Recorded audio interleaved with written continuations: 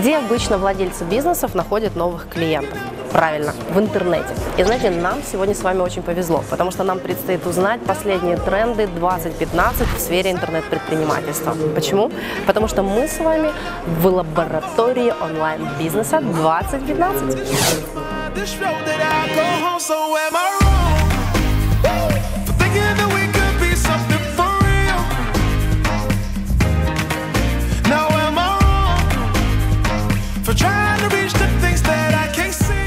Наша идея, мы собираем людей, которые занимаются разными бизнесами. Микробизнес, малый, средний, в частности, либо тех, кто только начинает, или уже у них есть бизнес. И мы показываем, как можно в интернете, в интернете продвигать то, что у них есть, зарабатывать больше, делать так, чтобы их бизнес приносил больше чистой прибыли, внедрять новые инструменты. Вот наша главная задача, чтобы событие не прошло только три дня, они получили массу эмоций, вау, здорово, но не применили. Нам, нам хочется довести их до какого-то конкретного результата. Мероприятие получилось очень масштабным. А, Скажи, пожалуйста, по вашим подсчетам, такое количество людей и, насколько я знаю, даже разные страны. А больше тысячи у нас, по идее, там 1060, там что-то, типа 1067, по-моему. Может, наверное, может быть, сейчас больше. А, да, примерно 7 стран, в основном Украина. Но поскольку наша ау- аудитория это люди в разных странах, здесь есть Россия, Казахстан, Беларусь, Молдова, ну, Латвия, Литва, Германия, Мозамбик.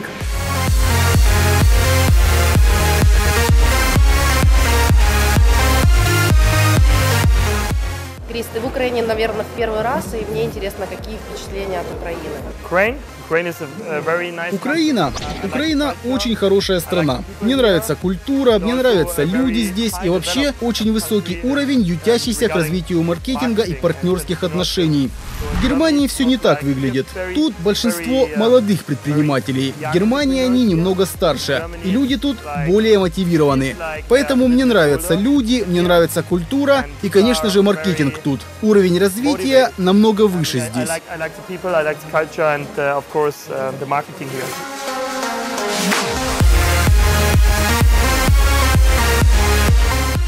Если брать 2014 год и вот 15 да, условно что-то отвалилось, может быть, по трендам вообще, или, или переросло куда-то.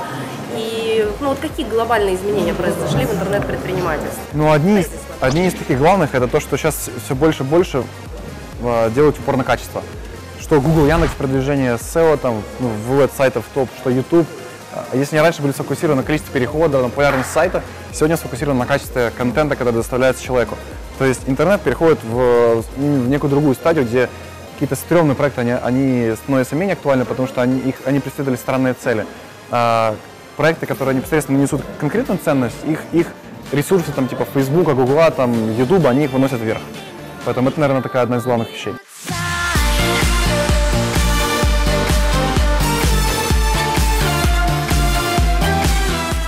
Спросили о трендах, э, что, что происходит, да? Э, Сильно меняется концепт, как вообще происходит коммуникация между людьми. Если раньше был сегмент B2B, да, вот B2C, э, то есть бизнес для бизнеса или там бизнес для клиента, э, сейчас эта грань это стирается и фактически все переходит в плоскость P2P, person to person, то есть персонально от человека к человеку. И вот это самое главное, то, что должно преобладать, я считаю, в каждой компании, это огромная клиентоориентированность, это на это настроенность на результаты клиента в первую очередь. Второе, э, что наконец-то начинает преобладать, бизнес начинает понимать, что то, что вы не замеряете, вы не контролируете. Если я общаюсь с собственниками интернет-магазинов, спрашиваю, как у вас вообще происходит, вот, э, что происходит э, замеры в отделе продаж, что вы замеряете? Ничего. Говорю, как? А как ваши менеджеры отрабатывают звонки? Ну, я ему выдал мобильный телефон, я ему пополняю, и он с него звонит, и ему звонят туда.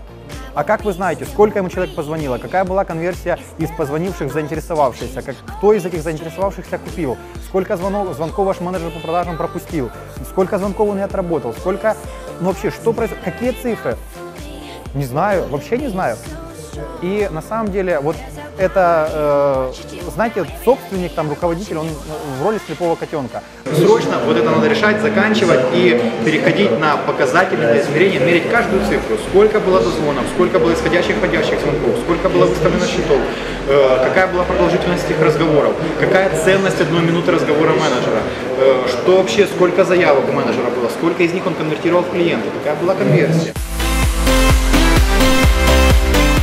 Для меня, э, как сама компания Genius Marketing, так и их деятельность, то, что они делают, э, производит огромное э, такое вдохновение, впечатление, да, это даже не мимолетное ощущение, а просто такая вот гордость и великое уважение тому, что делает Олеся и его команда, и то, как они это делают. И когда я с ним познакомился, и мы с ним общались, я ему рассказывал про то, что я делаю, про то, что я хочу делать, и э, то, что э, я называю предназначением, можно так сказать, да, и он мне предложил, давай ты выступишь у нас, расскажешь про себя, расскажешь про свою историю, там, может не так э, будет это долго, там 45 минут, вот, и э, так это и произошло. Для меня это была большая честь, потому что такая большая аудитория, тысячи человек, это происходит раз в году.